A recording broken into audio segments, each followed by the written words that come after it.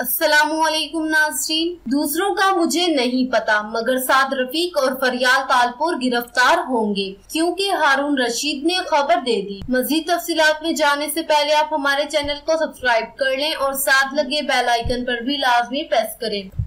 दूसरों का तो मुझे पता नहीं। अंदाज़ा है कि साद रफीक और फरियाल तालपुर ज़रूर गिरफ़्तार होंगे। आखिरकार मलिक रियाज भी इनके जराइम अशकार हैं। आपको एक बार फिर बता दें कि हारून रशीद ने समाजी राबतों की वेबसाइट ट्विटर पर अपने जारी एक पैगाम में कहा है कि दूसरों का तो मुझे पता नहीं, अंदाज़ा है कि साद रफीक और फरियाल तालपुर ज़रूर गिरफ़्तार होंगे। आखिरकार मलिक रियाज भी इनके जराइम